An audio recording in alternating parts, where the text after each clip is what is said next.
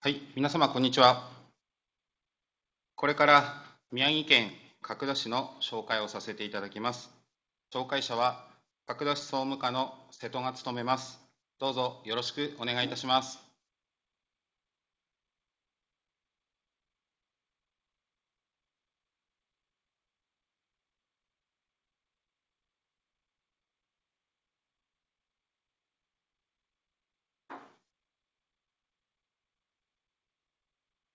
まず、角田市の位置についてご紹介します。角田市は宮城県の南部、仙台市から南に約40キロに位置します。地形は地方を山に囲まれた盆地で、市の中央を阿武隈川が南北に貫流しています。市の中央部には市街地があり、周辺部に農地が広がる田園都市です。次に、市のデータ等についてご紹介します。人口は約2万8000人。主な産業は農業と工業。特産品としまして、米、大豆、梅干しなどがあります。昭和33年10月に制施行され、平成30年には制施行60周年を迎えました。次に、施設関係のご紹介をします。市の中心部から阿武隈川を渡った場所にある角田中央公園、愛称角田スポーツビレッジは、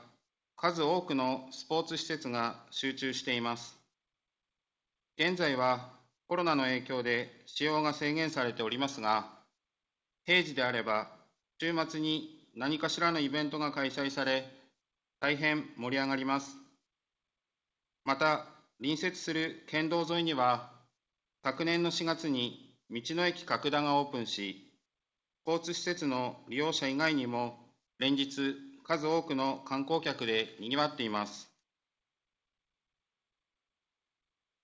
街中には、郷土資料館、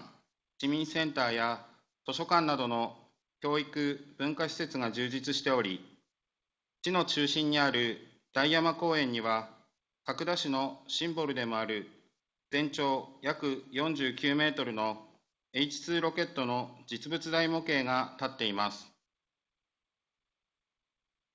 次に、本市では地域の魅力を発信するため、5つの目、ブランドによるまちづくりにも取り組んでいます。本市の特産物でもあり、食ブランドをリードする食材として、米、豆、梅の3つの目、地域イメージをリードするテーマとして、明日の宇宙を開く子どもたちの夢、歴史ロマンを象徴する仙台藩主伊達政宗公の次女、ムー姫、この5つの目ブランドを用いて、地域の魅力を全国に発信していきます。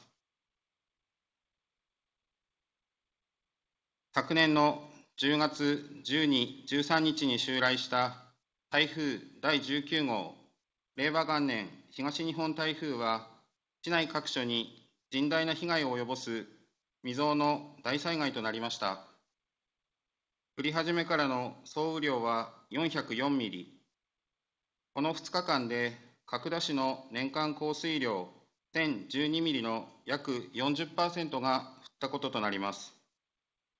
さらに、この大雨により、約500世帯が避難所へ避難し、家屋等の罹災件数は1500件を超えました。台風の被害状況について概要を述べますと、人的被害は死者1名、軽傷者4名、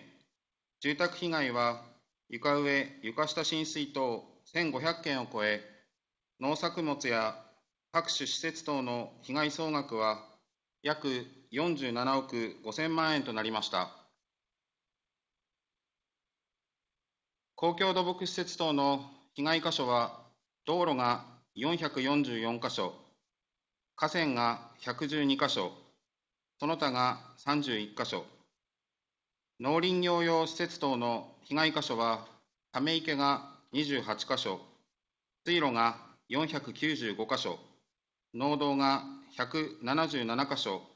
その他117箇所でした。これらの影響で、今年、角田の食ブランドの一つである米の作付けができなかった田んぼが約30ヘクタール、東京ドーム約6.3個分に上りました。これらの写真は台風直後に撮影されたものです。ほんの一部のみをお示ししますが、被害の程度がご確認いただけるかと思います。発災直後に全国の自治体から数多くの職員の方に応援いただきました。具体の人数等は、令和元年10月15日から令和2年3月31日までに、計53自治体、延べ2752名の応援をいただきました。被災箇所が多く、いまだに復旧のめどが立たない状況にあります。特に土木にかかる技術職員の人手が不足しております。本市では、令和3年度から本格的に防災・減災対策事業を予定しており、対策工事にご協力いただける任期付き職員、土木技師3名を募集いたします。任期付き職員の募集内容については、任用期間は令和3年4月1日から令和4年3月31日の1年間です。応募資格は、高校や大学等で土木分野の学部を修了した方、土木技術を有する方を募集いたします。年齢要件はございません。健康な方であれば、どなたでもご応募いただけます。申し込み方法は、令和2年9月16日までに申し込み書等を角田市総務課までご提出願います。応募に関する様式等は角田市のホームページへ掲載しておりますので、ご確認願います。参考までに採用後の任用条件、待遇等の一部をご紹介いたします。勤務時間は午前8時30分から午後5時15分の1日7時間45分勤務となります。休日等は土日、国民の祝日及び年末年始のほか、各種特別休暇に加え、任用初日から年次有給休暇を15日付与させていただきます。給料及び手当は、正職員と同じルールで計算し、毎月21日に支給いたします。加えて、6月30日と12月10日には、期末手当、勤勉手当が支給されます。健康保険、厚生年金等については、宮城県市町村共済組合へ加入します。また、任期付き職員はフルタイム勤務であり、雇用保険の代わりに退職手当の制度加入となります。宮城県市町村職員退職手当組合へ加入し、勤務期間が6ヶ月以上であれば、退職手当を受けることができます。